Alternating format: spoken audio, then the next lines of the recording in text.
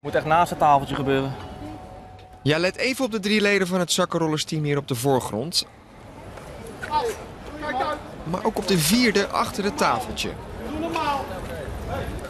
Ja, ik heb hem. Is die voor jou?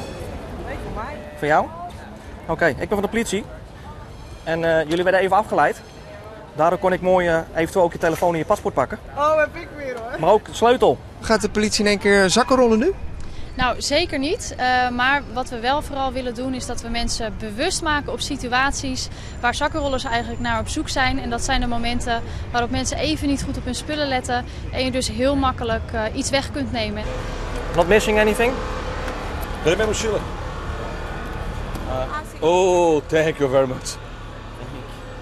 Vorig jaar tijdens de Gay Pride en ook tijdens de inhuldiging van de koning werd de stad nog geteisterd door met name Roemeense bendes die het op de waardevolle spullen van de bezoekers hadden voorzien. Moeten jullie misschien toch niet wat meer die focus leggen op die daders in plaats van op de voorlichting? Dat zijn, eh, is zeker iets wat we ook doen. En daar lopen ook nu in voorbereiding aan de Gay Pride eh, lopen er allerlei dingen. Maar daar kan ik op dit moment nog niks over zeggen.